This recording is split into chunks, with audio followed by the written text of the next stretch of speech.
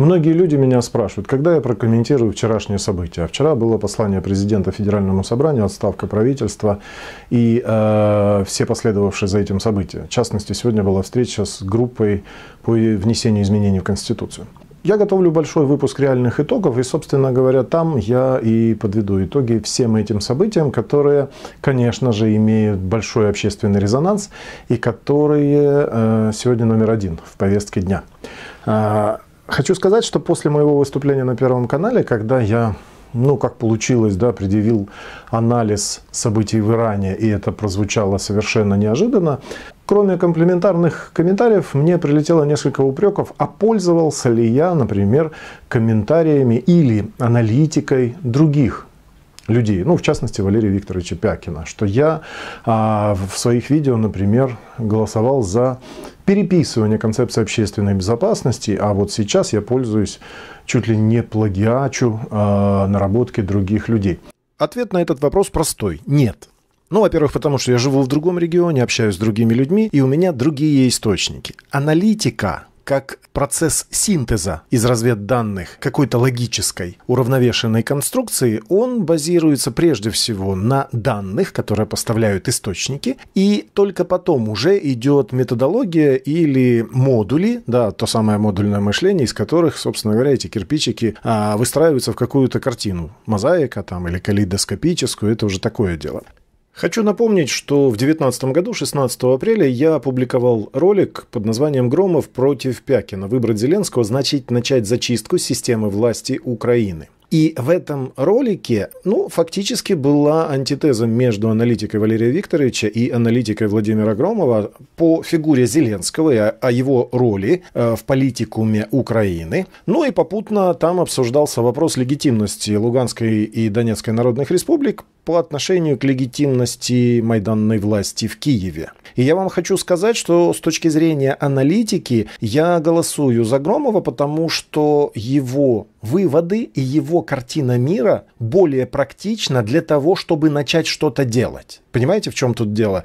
То есть э, мало сказать, что не ходите голосовать за Зеленского, потому что он легитимизирует майданную власть. Нужно сказать следующий ход. А что же делать? А вот что же делать никогда ни у кого, не только у Валерия Викторовича, но ни у кого не звучало, потому что ну, в концептуальной тусовке э, делать это вообще, честно говоря, ну, не очень модно. Говорить, много говорить, да, а делать с этим большие-большие проблемы. Я не говорю о выпуске роликов или о публикации книг. Я говорю о делании реальной политики. И вот с этим а, я, например, а, лично я не согласен. Потом вспомните один из эпизодов моего сериала «Ветеран», да, где мы обсуждали коллизию, связанную с отставкой Бабича с позиции посла в Белоруссии. Помните, да?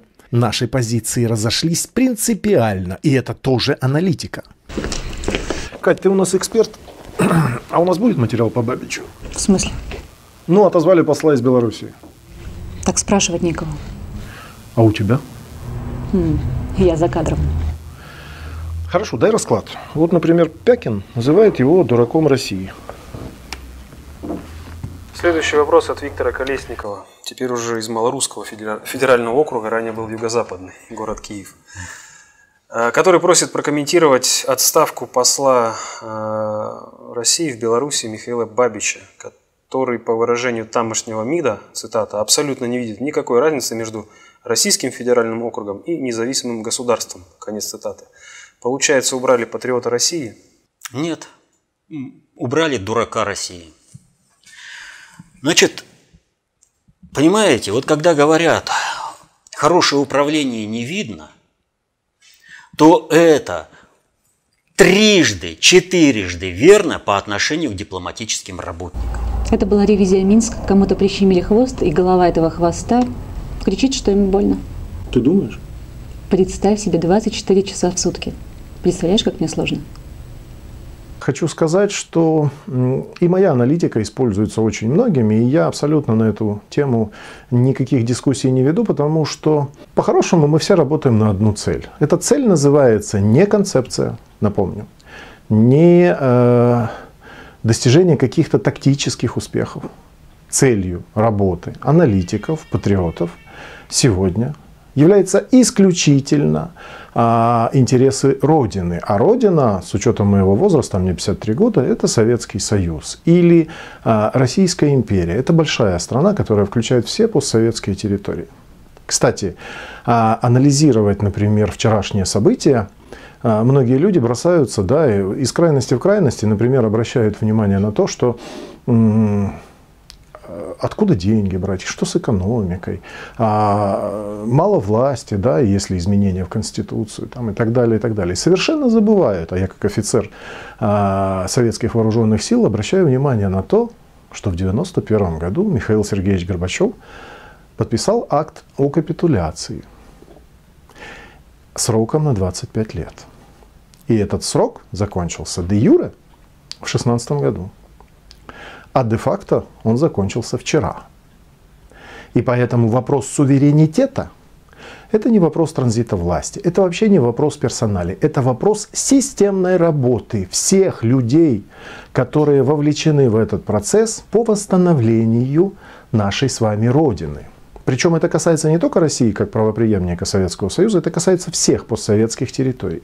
Заканчивается период, который нам устроил коммунистическая партия во главе со своим генеральным секретарем. И это принципиальнейший момент, который надо использовать в анализе э, вчерашнего послания э, президента Федеральному собранию. Поэтому упреки относительно того, что кто-то пользуется чьей-то аналитикой, они несостоятельны, потому что каждый аналитик обращает внимание на свой участок работы. И по большому счету хочу сказать, что я очень тепло отношусь к Валерию Викторовичу. Я вообще считаю его соратником, я считаю его сослуживцем. Мы все работаем на одну большую цель. У каждого есть свои инсайдеры – я часть своих инсайдеров ну, предъявил, потому что они уже в поле. Да, это Владимир Громов, который э, имеет отношение к глобальной разведке, а, которая занимается добыванием не только разведданных, но и разведсведений, которые уже имеют первичные признаки анализа. И я уверен, что у каждого аналитика есть свои инсайдеры, да, своя развед, свои разведсведения. И вот наша совокупная работа, она направлена на то, чтобы наша страна вернула себе статус сверхдержавы, чтобы Россия стала центром концентрации глобального управления. Для этого нам надо навести порядок в теории. А мои, например, предложения по корректировке понятийного аппарата направлены прежде всего для того, чтобы а, каждой сторонней концепции стал более деятельным, потому что количество бездеятельных слишком уж большое. Поэтому считаю, что никто ни против кого в данном случае внутри в нашем окопе выступать не может. И думаю, что мы все, как я уже говорил, работаем на одну и ту же цель.